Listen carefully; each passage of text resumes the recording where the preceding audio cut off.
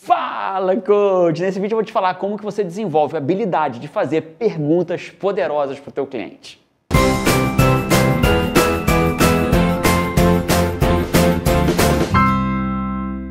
Então vamos lá. Você já sabe que uma das maiores habilidades que um coach tem que ter é aprender a perguntar. E perguntar perguntas poderosas que mudam a vida do cliente. Eu diria que quanto mais você souber perguntar, provavelmente melhor coach você vai ser. E as pessoas me perguntaram assim, Jerônimo, como que eu desenvolvo a habilidade de fazer perguntas poderosas? Massa. Mas antes de eu te falar como que você desenvolve habilidade, deixa eu te dizer quais são os dois maiores erros que um coach comete no que se refere a fazer perguntas poderosas. Beleza? Então vamos lá. Primeiro maior erro. Um dos primeiros maiores erros é decorar as perguntas que eu vou fazer. Jerônimo, eu gosto de decorar a ordem das perguntas. Cara, ser humano ele é único. Ser humano não é um robô que você faz uma pergunta e ele responde uma resposta que seja coerente para você fazer a segunda. Então você pode até ter algumas perguntas na cabeça, mas decorar a pergunta faz com que você perca o que é o mais importante, que é o processo criativo, o feeling, a vontade verdadeira de prestar atenção no que o cliente está te falando. Então, um dos maiores erros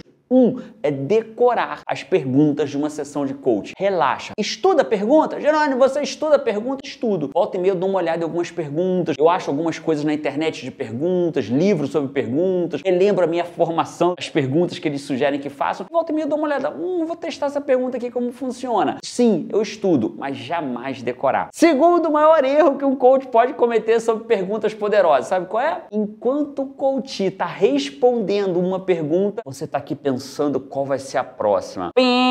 Relaxa. É o seguinte, não fica pensando na próxima pergunta. Esteja totalmente presente com o teu cliente. Beleza, Geraldo, mas como é que eu vou treinar esse troço? Ótimo, eu vou te dizer agora como que você vai treinar esse troço. E aliás, quando você treinar, fazer perguntas poderosas, você vai ganhar um bônus. Sabe qual é o bônus? As pessoas normalmente adoram falar de si mesmas, adoram estar no foco da atenção. Então, como é que é um jeito de você adquirir habilidade de fazer pergunta poderosa? Primeiro ponto, você precisa verdadeiramente se importar com as pessoas. Então, quando você pergunta para ela, e aí, como foi seu final de semana? Você não tem que só esperar que ela fale, ah, foi ótimo. Ah, então tá bom, beleza, valeu, bate aqui. Não, tem que se importar com ela. Você quer realmente saber como é o final de semana dela. E o segundo ponto, o que, que é? É estar presente. Como assim estar presente, Jerônimo? Então se liga. O treino é se importar, estar presente. E quanto mais você vai ganhar pontinho no jogo de fazer perguntas poderosas, quanto mais tempo você manter aquela pessoa contigo, envolvida, interessada na conversa contigo, mais você está desenvolvendo essa habilidade. Então vamos dar um exemplo. E aí, como é que foi teu final de semana, fulano? Foi ótimo. Um coach meia boca e embora. Você não, nível A na parada, o que você vai fazer? Treinar, manter aquela pessoa envolvida contigo. Exemplo, você poderia dizer assim, foi mesmo? Então me conta aí, três coisas que fizeram ele ser ótimo. Ó,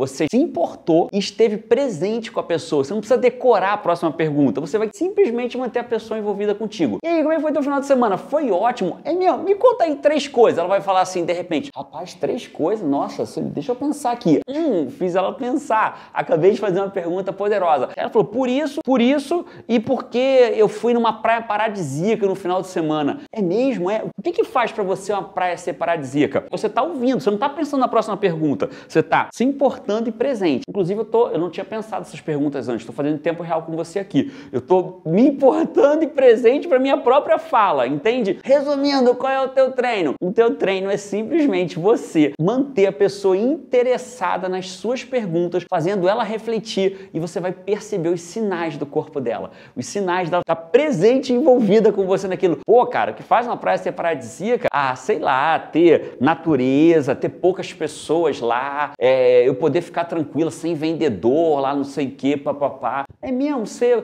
Por quê? Vendedor, você acha que vendedor em praia é chato? Pô, é, não, vendedor é chato, cara vende, entende? E aí você vai mantendo a pessoa. Do que ela fala, você treina uma próxima pergunta para ela. Jerônimo, isso vai me ajudar a fazer perguntas poderosas? Vai, porque vai desbloquear de você um dos maiores problemas que o coach tem. Quais são? Querer decorar a pergunta e ficar pensando na próxima pergunta enquanto a pessoa está falando falando a resposta da anterior. Aí ele não vai estar presente, não vai se importar e não vai saber que pergunta fazer depois. Beleza? Agora se liga numa coisa: toda habilidade se adquire com conhecimento, prática e repetição. Acabei de te ensinar, agora você tem que praticar e repetir. Ah, uma parada que eu preparei para você. Eu criei o manual do coaching início de carreira. Eu não sei se você tá mesmo no início de carreira, ou no final, ou no meio da carreira, de um jeito ou de outro, vai aparecer o link para você aí no vídeo. E se não aparecer no vídeo, clica na descrição que vai ter o link para você baixar gratuitamente o manual do coach no início de carreira. Aproveita, dá um curtir aí para me dizer que valeu a pena eu gravar esse vídeo para você e eu te vejo no